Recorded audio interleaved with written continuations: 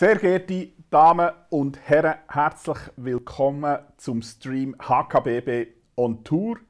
Eine weitere Runde von unserem Online-Format, wo wir einerseits unsere Mitgliedfirmen dürfen kennenlernen und andererseits sehen, erfahren, was in der Handelskammer sonst noch für aktuelle Themen in Bearbeitung sind.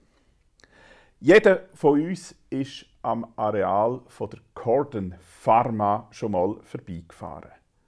Sei es rechts, sei es links, sei es äh, oben oder unten.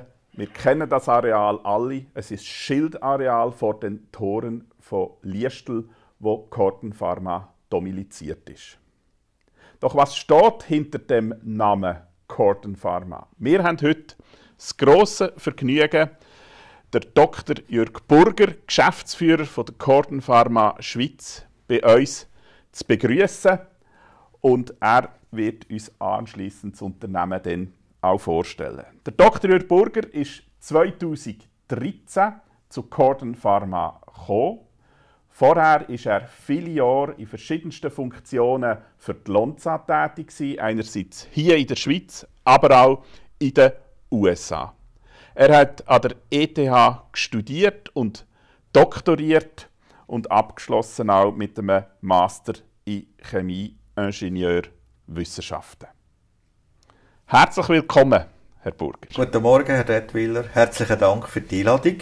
Ich bin sehr gern nach Basel gekommen, vom Baselland. Super, das freut uns sehr. Ich begrüße auch Deborah Straub. Sie ist Abteilungsleiterin Cluster und Initiative, Mitglied von der Geschäftsleitung und wird uns heute das Dossier datenbasierte Gesundheitswirtschaft ein bisschen näher bringen. Bevor wir aber loslegen, meine Damen und Herren, schauen wir wie gewohnt einen kurzen Trailer, machen nachher das Interview mit dem Herrn Burger, machen den Abstecher zu der Präsentation von der Frau Straub. Und am Schluss, meine Damen und Herren, bitte stellen Sie Fragen. Der Burger steht gerne zur Verfügung, aber auch Frau Straub. Das Ganze dreiviertel Stunde, so dass wir pünktlich dann können zu Mittag essen Schön sind Sie da. Film ab.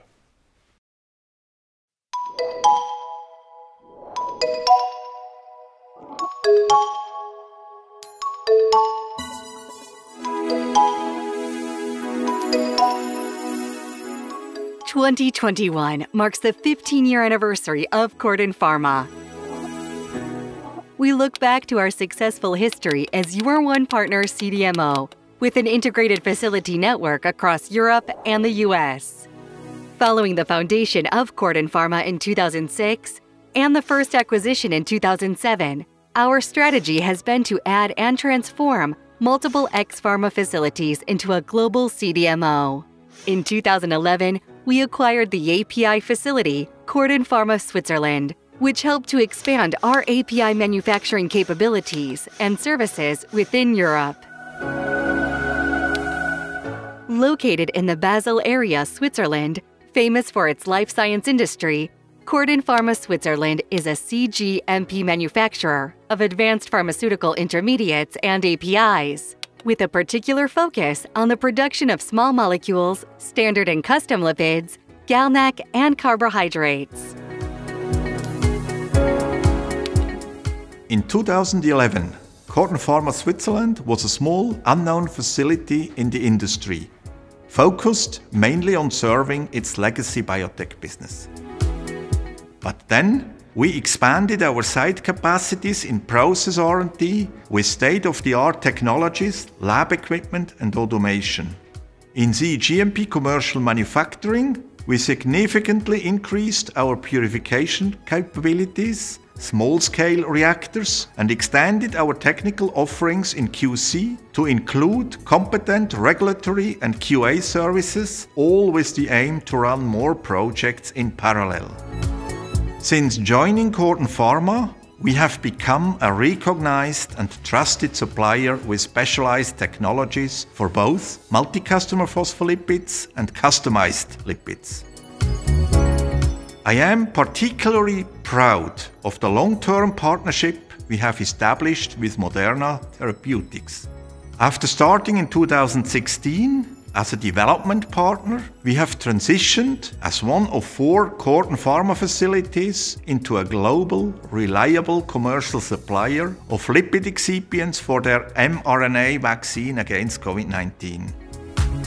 By applying a culture of operational excellence and proven methodology, our CDMO journey with Corton Pharma has contributed increasing sales growth year after year. We stand behind our new title, the Corton Pharma Center of Excellence for Small Molecule and Custom Lipids Chemical Development. Our team has a profound understanding of the CDMO industry and as such has helped to create a reputation that attracts top talents in the competitive area of Basel. We look forward to continuing our collaboration with you, our customer. Corton Pharma, your one partner CDMO.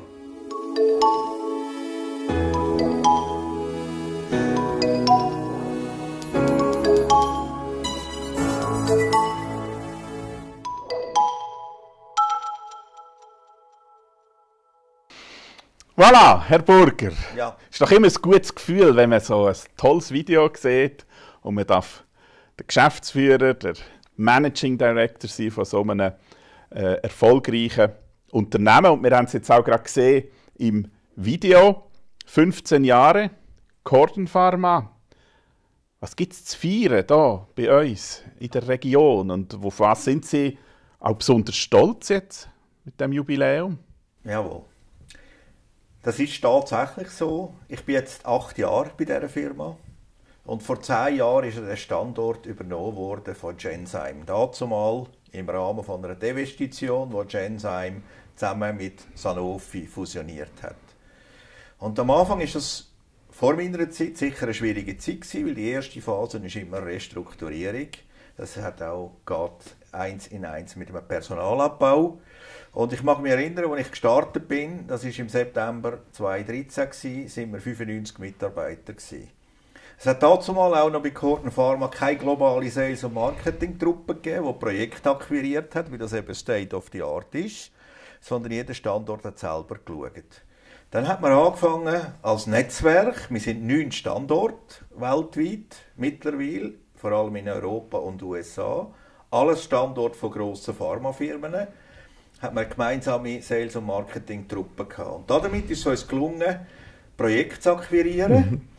Und die Projekte sind so gewachsen, dass wir auch haben können, personalmäßig nachher wachsen Heute sind wir 160 Mitarbeiter, also von ungefähr 95. Wir haben eine schöne Historie gemacht. Die Kunden, und das ist das Schöne, kommen auch immer wieder zu uns. Also es sind nicht Erstkunden, wir haben einen sehr breiten Kundenstamm von Startups mit sehr wenigen, also wo die Firma besteht aus manchmal nur sieben bis acht Mitarbeitern, ja. Bis zu Big Pharma und zwischen ihnen die Mid-Size Pharma Firmen, wo eben ganz unterschiedliche äh, Services auch von uns verlangen. Und das ist wahnsinnig spannend, finde ich, aber auch herausfordernd natürlich. Und ja, wie ich es im Film auch erklärt habe, ganz extrem stolz sind wir eigentlich darauf, äh, darauf weil wir mit Moderna 2016 dazu mal ein erstes kleines Projekt hatten, dazu mal noch mit unserem Standort in Boston. Wir hatten dort ein Labor, gehabt, das Non-GMP gemacht hat. Da sind wir als Liestal auch verantwortlich dafür haben ein erstes Projekt gefahren und für die GMP, für die ersten klinischen Versuchsmengen herzustellen, hat man das transferiert nach Liestal. Das war im 17. Und äh, wo vor zwei Jahren Moderna zu uns gekommen ist und gesagt hat, sie hätten uns gerne für eine weitere Substanz, ein weiteres Lipid herzustellen, nebst dem, was wir schon gemacht haben, aber für eine andere Anwendung, haben wir eigentlich realisiert, dass wir offenbar einen guten Job mhm. gemacht haben und die zu uns gekommen sind. Und das, ich glaube, da ist der ganze Standort wahnsinnig stolz drauf. Die haben uns zwar eine Aufgabe äh, gestellt, wo sehr, sehr herausfordernd war, nämlich das zweite Lipid noch äh, eine gangbare, industrialisierbare Route zu entwickeln und zu produzieren. Und die Mengen sind dort fast ab Februar 2020 fast mhm. monatlich gestiegen. Äh, wir haben einen wahnsinnigen Effort gemacht an unserem Standort und die Mitarbeiter sind, man hat gespürt, wie motiviert das die sind und das hat mich, also das habe ich noch nie erlebt eigentlich ja. in meiner ganzen, mittlerweile bin ich 35 Jahre da im Geschäft. Also ich finde das unglaublich faszinierend, oder? Dass wir hier am Standort jetzt rund um, um die ganze Moderna- und Impfstoffproduktion eigentlich erfahren, dass immer mehr Firmen irgendeinen wichtigen Beitrag äh, zu, zu diesen Impfstoffen äh, leisten. Jetzt eben auch Corden Pharma, das ist für mich jetzt äh, eine neue Erkenntnis gewesen. Äh, Finde ich, find ich super spannend, dass dort die Region Basel mit einem Unternehmen ganz vorne an der Spitze von dieser Impfstoffproduktion kann einen Beitrag leisten. Aber jetzt nochmal schnell, oder?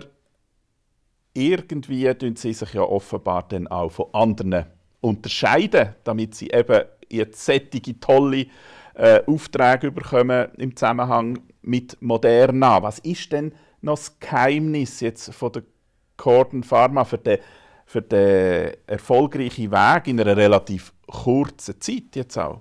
Also das sind sicher zwei äh, Aspekte, die man da muss anschauen muss. Corden Pharma als Standort Liestal das ist ja eigentlich ein Entwicklungsstandort primär und ein Produktionsstandort nur für kleine Mengen, also wo wir sagen, wo der Wirkstoff in sogenannte seltene Krankheiten geht.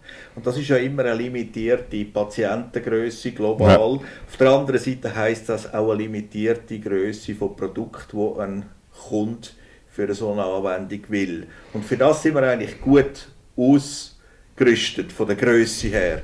Das heißt, wir haben da eine Nische von der Größe her. Also wir haben die Entwicklung und wir haben als Standort Liestal einfach äh, die Kapazitäten, die typisch für diese Anwendungen eben geeignet sind. Und das ist vielleicht für größere Konkurrenten, äh, wo wir auch haben natürlich auf dem Markt, ist das äh, vielleicht eine Nische gewesen, wo andere weniger interessiert sind, ja. weil sie einfach ja. größere Bedürfnisse hatten.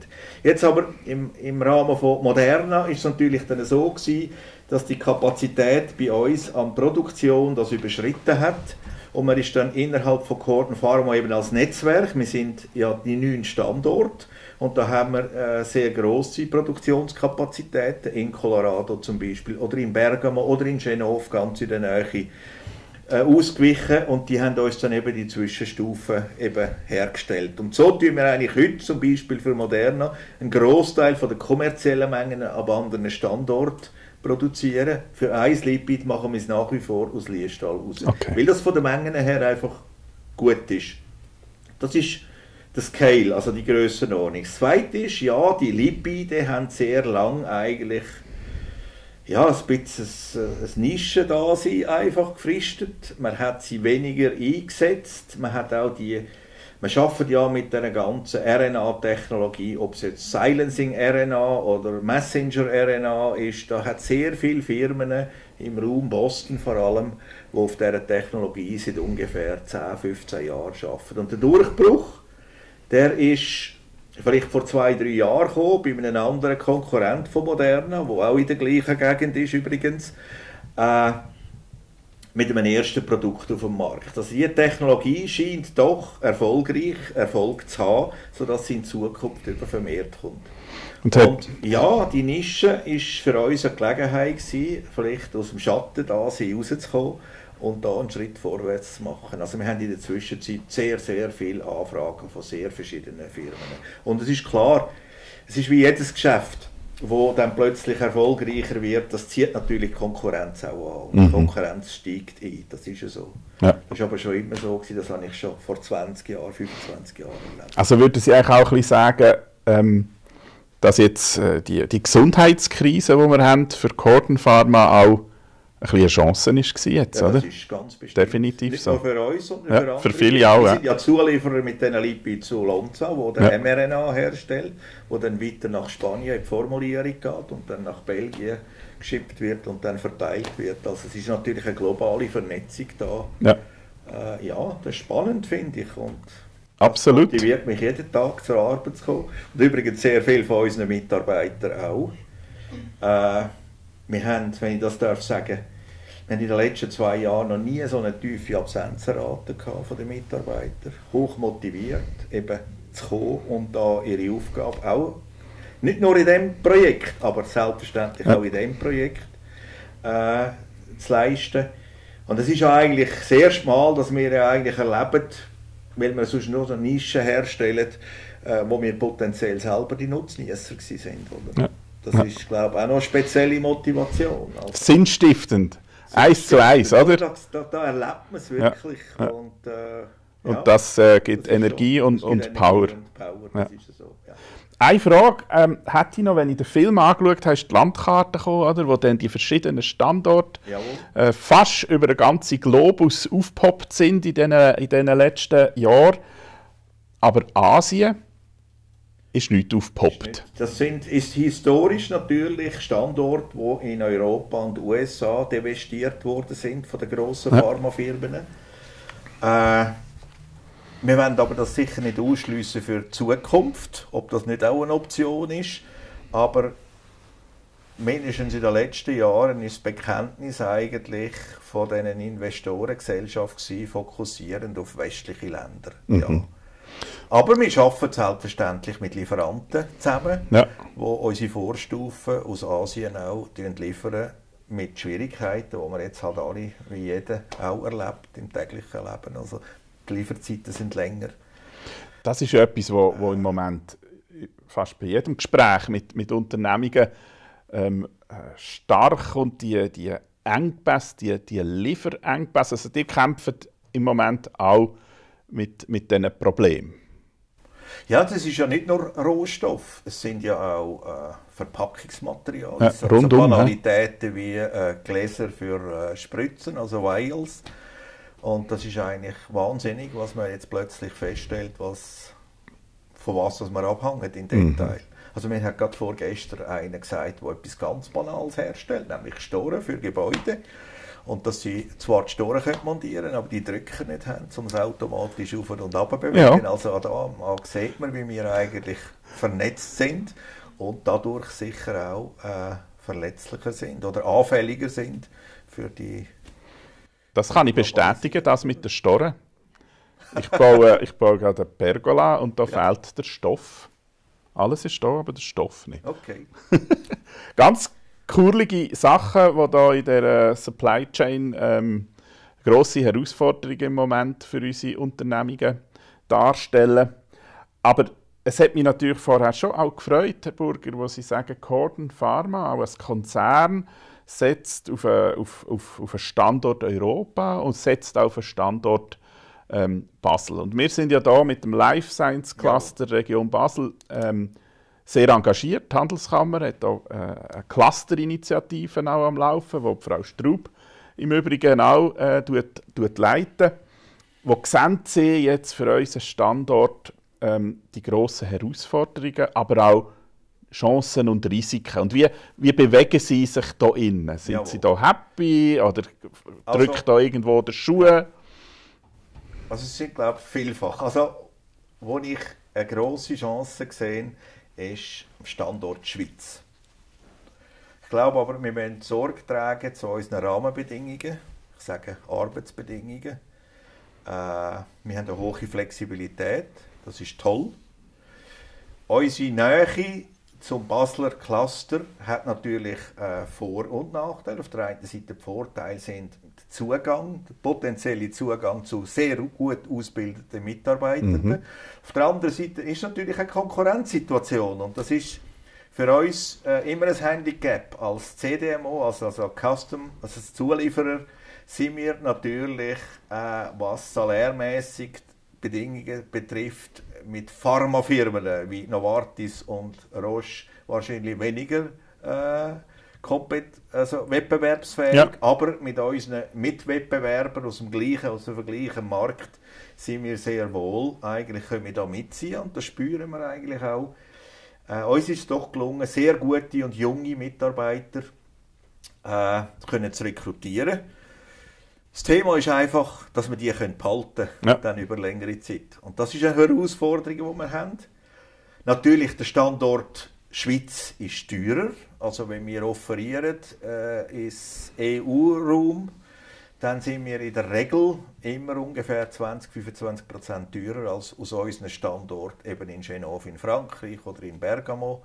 Und das macht es nicht einfach, das ist ja so. Aber ich glaube, durch äh, Kompetenz, durch Leistung, letztlich können wir das kompensieren. Also wenn Sie fragen vorher noch, was, wo können wir uns unterscheiden auch von der Konkurrenz? Ich sage immer, eigentlich durch effizientes Projektmanagement und intensive Zusammenarbeit mit dem Kunden. Durch mhm. Technologien sicher nicht. Das können viele im Raum Basel auch, oder? Das ist ja so.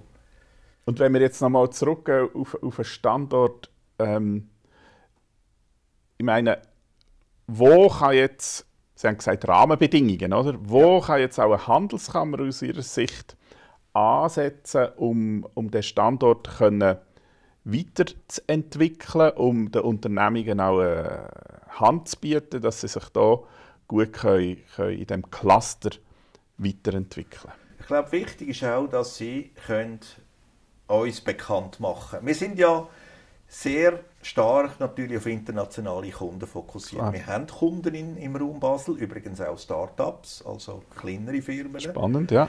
Und äh, da in den letzten zwei, drei Jahren ist das eigentlich sogar eher breiter geworden. Und also sind nicht mehr, global haben wir natürlich die klassischen Pharmafirmen als Kunden, aber in den letzten Jahren haben wir auch zusammen geschafft mit verschiedenen Firmen in Basel-Stadt und Basel-Land, wo sie da können natürlich gewisse Enabler-Funktion mithelfen ja. und leisten. Äh, am Standort Liestal sind wir, und das ist unsere Challenge, spezifisch, wir sind ja hier eingemietet. Mhm. Und da ist natürlich von, von der Grundfläche her sind wir limitiert. Also wir haben dort heute rund zwei Drittel vom äh, Grundareal von Schild. Und Flexibilität haben wir zwar immer, wenn wir Bedürfnisse haben, an Raum und Fläche, dass wir können etwas zumieten können. Also Schild kommt uns da immer sehr entgegen. Wir haben übrigens auch einen, einen Vertrag, der jetzt zehn Jahre länger geht. Also noch verlängert bis 2031. Das ist schon mal gut. Also die Bedingungen haben wir an und für sich da. Wir versuchen natürlich auch, äh, aber trotzdem, wir sind ja da in einer Wohngegend. Ja. Und das limitiert natürlich, das ist ja so. Und wir haben uns auch schon überlegt, eben umzuziehen, aber der Aufwand ist natürlich sehr hoch. Mhm. Also glaubt ihr noch an Werkplatz Basel, dass da auch noch produziert wird und nicht nur geforscht wir, wir und glauben, wir ihr glaubt und, und, vor allem, wenn man sieht, wie die Tendenz ist, ja. das geht ja weg von der grossen Tonnage, die grossen Mengen. Eben. Das ist äh, personalisierte Medizin, kleinere. Das heißt kleinere Mengen und ja. wenn wir auch sehen, die neu, also wir haben kommerzielle, das kleinste kommerzielle Produkt, da machen wir, ich sage jetzt einfach eine Grössenordnung, das sind drei, drei Ansätze an 80 Gramm, ja. oder? Das sind kleine Mengen, da braucht man nicht mehr die Tonnage, sondern das ist sehr, sehr kleinmengenorientiert und äh, wenn das in die Richtung geht, ist das absolut perfekt als äh, Standort. Weil das also sind auch wenig Ansätze, es ist nicht eine automatisierte äh, Produktion, ja. sondern da zählen wir auf Fertigkeiten von, von unseren Mitarbeitern. Das heißt, er hat ein Mitarbeiter eine zentrale Funktion. Ja. Weil es eben nicht automatisiert ist. Und da sehen wir zum Beispiel, und ich habe ja das erlebt in den USA, einen grossen Unterschied eben und eine Stärke von unserem dualen Bildungssystem. Ja. Äh, das ist immer eindrücklich, wenn wir die Diskussion mit unseren Kunden haben, die halt sehr oft aus den USA kommen. Und denen muss man dann erklären, dass uns die, eben die Lehre, die Technik, also die Te äh, Laboranten, die ausgebildeten Laboranten oder auch Operators in der Produktion, dass es eben äh, wahnsinnig wertvoll ist aufgrund von der Fähigkeit, die sind sehr breit ausgebildet und dass diese Ausbildung ist eigentlich sehr komplementär zur Hochschule und dass es eben nicht das eine oder das andere ist. Ja. Und ich habe ja das erlebt und ich habe auch in den USA Leute rekrutiert, die ich mir vorgestellt habe, die sind jetzt zehn Jahre bei einer Grossfirma und breit ausgebildet und haben müssen lernen nachher, dass die sehr eng eigentlich mhm. ausgebildet sind und absolut nicht flexibel einsetzbar sind. Also ich sehe die Stärken vom Standort Schweiz so, obwohl er teurer ist, aber als, als Gesamtpaket glaube ich, sind wir sehr kompetitiv auch in Zukunft. das freut uns natürlich zu hören, wenn wir hier eine Firma haben, die sich an diesem Standort kann und, und auch will, äh, weiterentwickeln. Und ich glaube, wir sind gut beraten, wenn wir unseren unser Life Science Cluster weiterhin entlang der ganzen Wertschöpfungskette versuchen äh, äh, voranzubringen und die Rahmenbedingungen äh, so positiv versuchen zu beeinflussen. Ich möchte noch ganz schnell eine ganz andere Ebene ansprechen, und zwar so ein bisschen Wirtschaft und Gesellschaft. Vielleicht haben Sie es gesehen, Herr Burger, wir haben ja 2021 das Thema äh, Wirtschaft in bester Gesellschaft als ein Jahresthema gewählt, weil wir eben auch spüren, dass es eine Herausforderung ist, dass äh, Wirtschaft und Gesellschaft quasi als Symbiose gut miteinander zusammenleben. Wir wir spüren immer wieder Skepsis. Sie sind jetzt privilegiert. Äh, Im Schildareal finden sie da äh, gute Voraussetzungen, um sich können weiterzuentwickeln. An anderen Standorten kommt dann eher mal wieder Opposition. Oder wir haben auch viele Initiativen, die eigentlich wirtschaftsfeindlich sind. Ähm, wie leben Sie ja. das Thema Vertrauen als Corden Pharma und wie setzen Sie das um bei Ihnen im Unternehmen? Wie kann man da den Schulterschluss machen? Also grundsätzlich glaube ich, dass in den letzten Jahren eigentlich die Tendenz von der sogenannten Wirtschaftsfeindlichkeit, wie sie das genannt hat, eigentlich äh, gekehrt hat. Mhm. Also ich glaube, gerade in der Corona-Zeit erleben wir mindestens eine sehr positive Einstellung auch vom Umfeld, weil Vertrauen, sagen sie, es ist ja eigentlich immer, es, es, sind Mitarbeiter, es sind Kunden logischerweise, aber dann vor allem auch Gemeinden rundherum und die Behörden. Und wir versuchen natürlich schon da durch Transparenz zu schaffen, indem wir eben proaktiv, wenn wir ausbauen wollen, auf die Behörden zugehen und die Projekte vorgängig besprechen indem wir im Bereich Abgassanierung äh, zum Beispiel eben vorbildlich zusammenarbeiten, proaktiv auch äh, eben Massnahmen treffen. Wir haben jetzt äh, gerade im Bereich äh, Fernwärme ein neues Projekt mit EBL und Schild, also wo man ja versucht umzusteigen auf einen erneuerbaren Weg. Erneuerbaren ja. Weg. Das kostet, mhm. das darf man nicht vergessen. Aber ich denke, so Massnahmen helfen, äh, da Gutwill zu schaffen, ja. auch in der Bevölkerung. Zudem haben wir eigentlich mit Liestal, äh, mindestens habe ich das erlebt mit dem Gemeindepräsidenten, der jetzt in Basel ist, also mit dem früheren Gemeindepräsidenten, ja. äh, einen gehabt, der sehr aktiv auch den Kontakt zu uns gesucht hat, also nicht auf uns gewartet hat, sondern hat sich da innerhalb von allen Stand, also pharmazeutischen Unternehmen eigentlich einmal im Jahr getroffen und gewisse Themen da diskutiert. Und ich denke, das ist auch ganz, ganz wichtig. Gewesen. Das ist, der Dialog, glaube ich mir, ist, ist, enorm wichtig. Auch, dass ein Geschäftsführer einmal in einen Talk hineinkommt, äh, zu einer Handelskammer und seine Botschaften ähm, tut kundtun.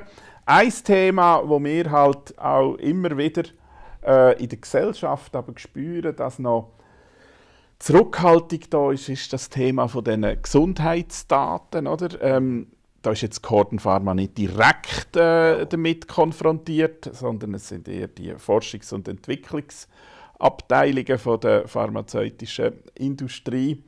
Aber haben Sie da ein Patentrezept, wie man die Angst in der Gesellschaft, dass mit den Gesundheitsdaten etwas äh, Schlimmes, Schlimmes könnte passieren, wie man das könnte abbauen? Ja, das ist eine, eine ganz schwierige Frage. Äh, genau. weil persönlich kann ich das nicht unbedingt nachvollziehen. Ja. Äh, dass man nicht wesentlich mehr Daten auch von Krankheitsverläufen anonymisiert, auswerten, weil ich bin absolut überzeugt, dass man äh, dadurch könnte Nutzen schaffen und indem man vielleicht proaktiv dann Erkenntnis könnte gewinnen, wo vielleicht nicht einmal, wo schon im Vorfeld von Krankheiten eben erkannt werden. Bereitschaft ist offenbar nicht da. Finde ich persönlich schade. Ich meine, ich erlebe das auch, wenn ich zu einem Spezialarzt gehe und der Hausarzt, wenn ich dann herausfinde, wie da eigentlich der Datentransfer stattfindet oder eben nicht stattfindet, bin ich immer wieder erstaunt ich glaube, da müssen wir wahrscheinlich anfangen. Und das Ganze tut man dann mit dem Personendatenschutz gerade ersticken. Gerade ersticken. Und persönlich kann ich das, finde ich das sehr, sehr schade, weil Ja. ich könnte mir eben auch vorstellen, dass andere Krankheiten, dadurch, dass man die könnte dann eben computerisiert, anonymisiert auswerten, eben da könnte Daten gewinnen, die präventiv an anderen Orten eben könnten wirken, was Genau. unterm Strich vielleicht sogar unsere Gesundheitskosten könnte reduzieren. Weil wir heute erfinden wir das Rad einfach sehr, sehr viel Ja. neu.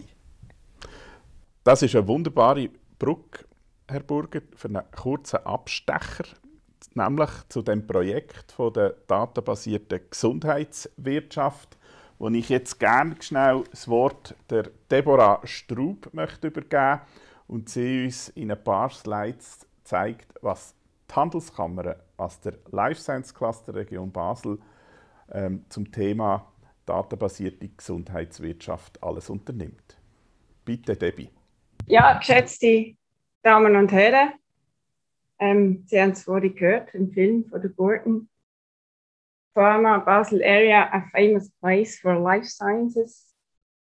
Sie haben es auch gehört, wir haben den Life Science Cluster Basel in diesem Jahr lanciert, das Handelskammer Baden Basel und verstärken damit eigentlich unser Engagement für die Leitbranche in unserer Region.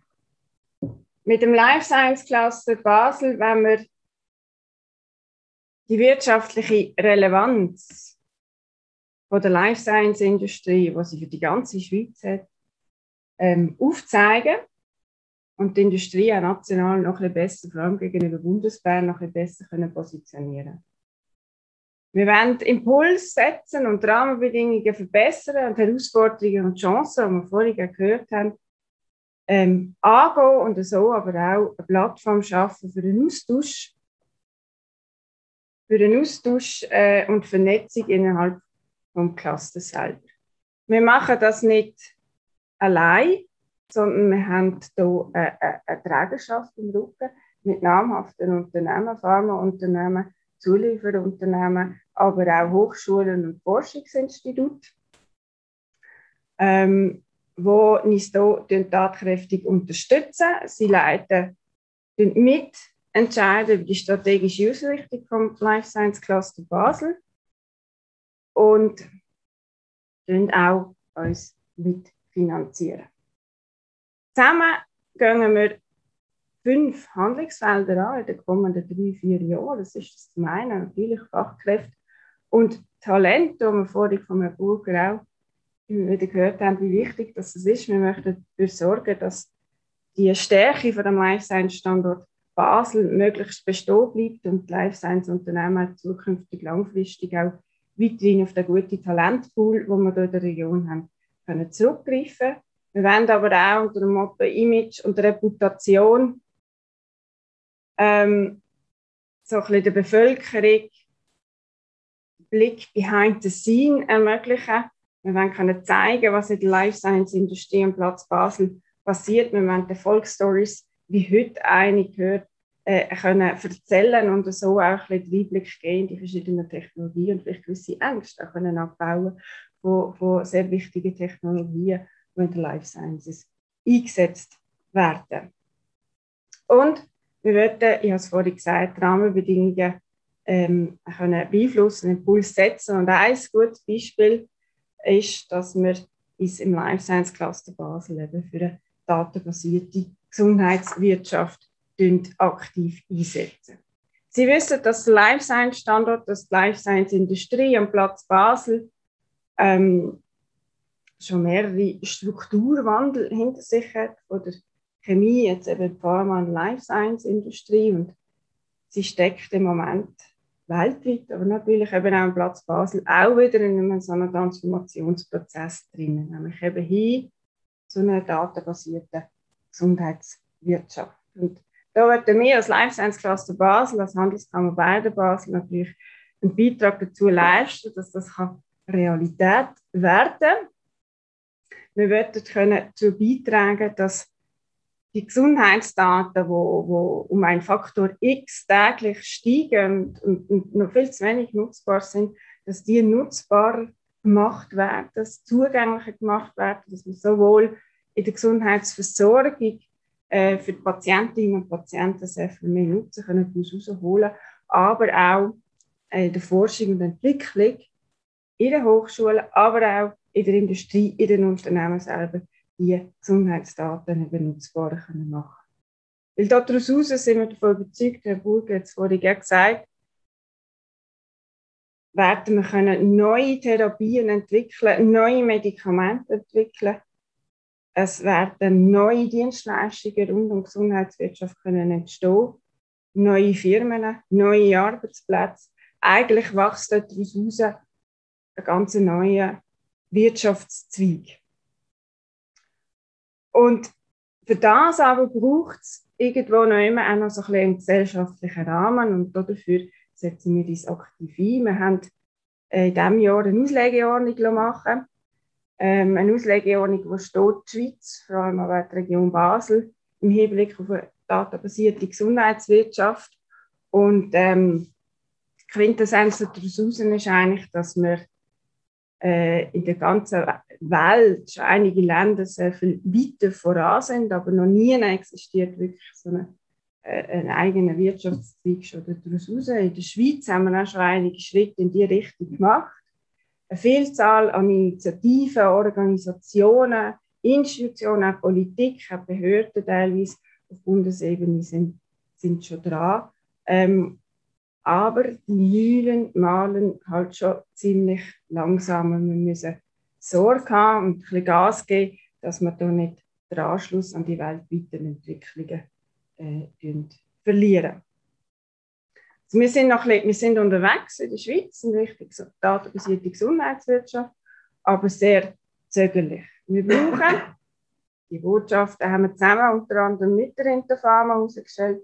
Wir brauchen in der Schweiz eine Infrastruktur, eine Gesundheitsdateninfrastruktur oder Gesundheitsdatenökosystem, noch besser gesagt, womit wir in einem geordneten Rahmen eben Gesundheitsdaten können erheben verarbeiten, untereinander auch wieder teilen und vernetzen, sie aber auch wieder können gelöscht werden Wir brauchen ein Commitment für Standards, wie die Gesundheitsdaten erhoben werden, wie sie genutzt werden, wie sie eben untereinander verteilt werden, möglichst internationale Standards, dass wir dort auch anschlussfähig sind an die internationalen Entwicklungen.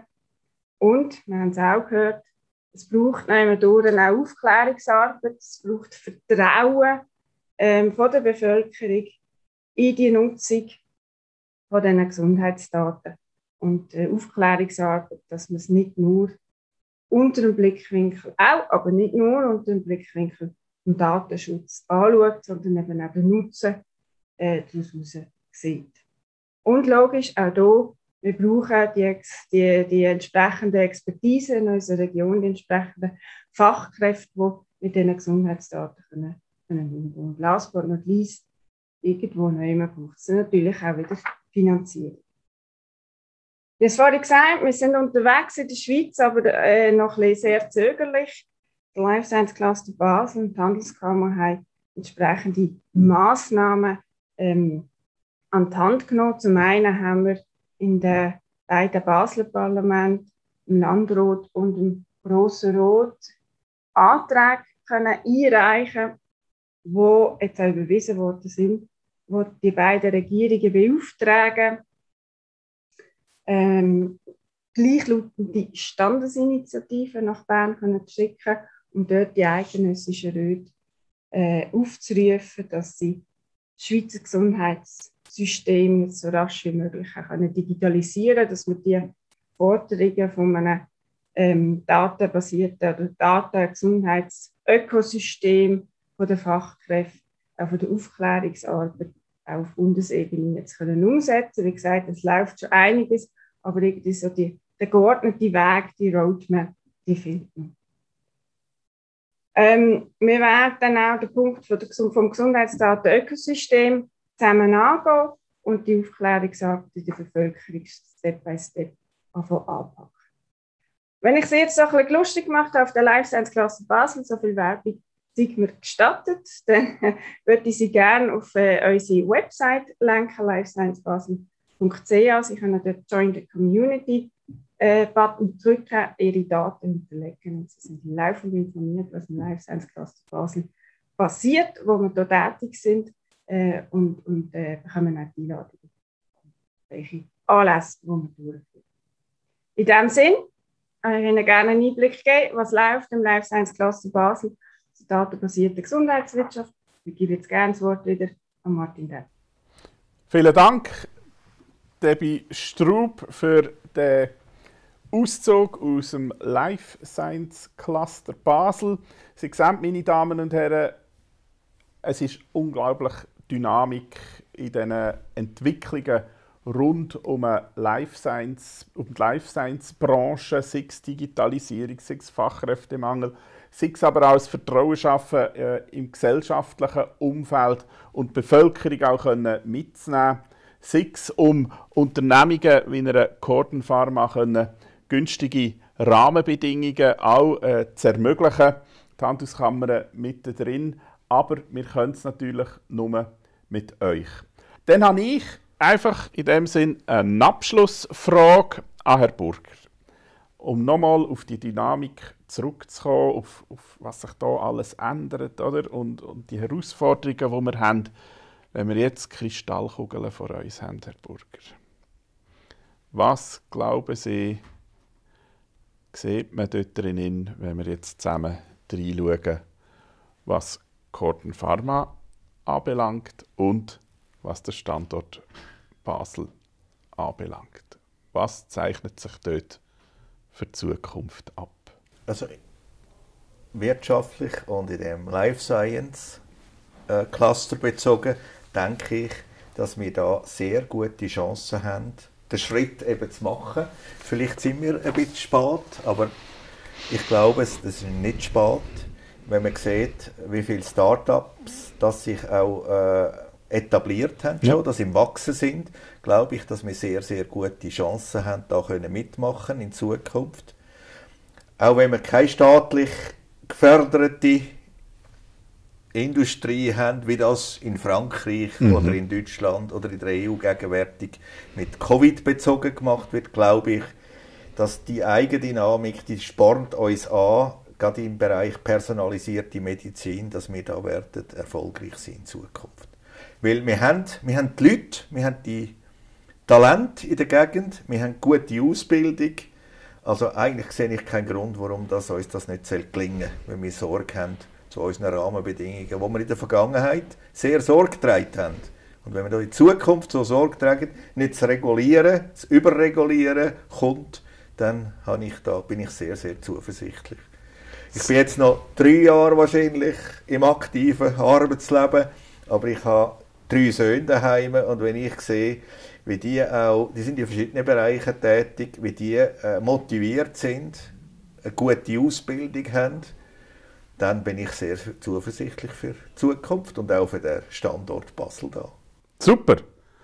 So werden wir doch schließen mit einer positiven Perspektive für die Zukunft. Herr Burger, es war ein grosses Vergnügen, heute mit Ihnen das Gespräch zu führen, etwas über das spannende Unternehmen Corden Pharma mit Sitz in Liestel zu erfahren.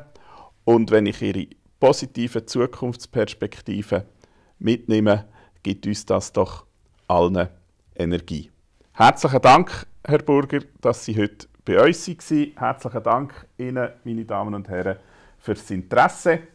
Und schauen Sie unsere Veranstaltungsplanungen an. Es kommt schon gleich wieder der nächste HKBB on Tour, wo Sie ein weiteres Mitglied von uns werden kennenlernen. Besten Dank und einen guten. Herzlichen Dank.